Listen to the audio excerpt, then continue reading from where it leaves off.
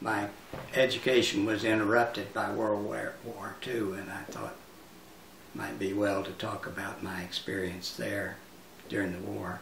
My family, especially my father, was extremely patriotic, and he uh, served in the Air Force in World War One.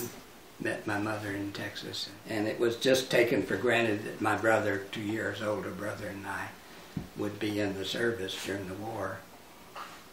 Uh, so we decided to volunteer for the Navy so that we wouldn't be drafted into the Army. And uh, we both did.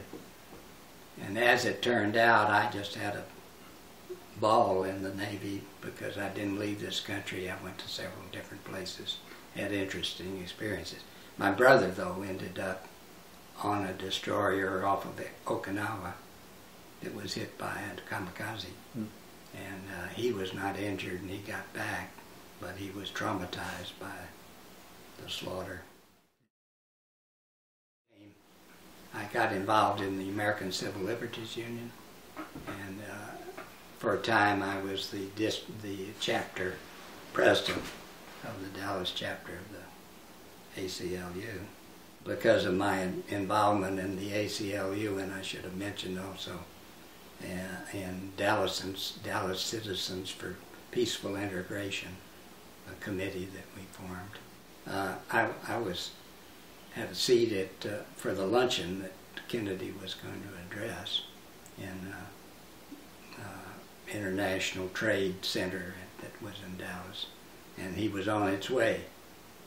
And we sat there and Kennedy didn't appear. Mm. Was too late. And he was late to us. And then finally somebody turned on a radio and heard that he'd been shot. Hmm. And uh, my, my oldest son had been on the route that he was following to get downtown and saw him go by, you know, waved, waved at Kennedy. He's the last member of my family that saw anything about him. My first academic job was at Oregon State University, there four years, Southern Methodist University in Dallas for 11 years, University of Missouri for 40 years. Eventually I developed a, a course that is was listed with other courses, mm-hmm. cross-listed between philosophy and peace studies. Absolutely foolish to engage in war anymore is one where you're going to be injured more by victory than uh, as badly by victory as your opponent is. There are no winners anymore.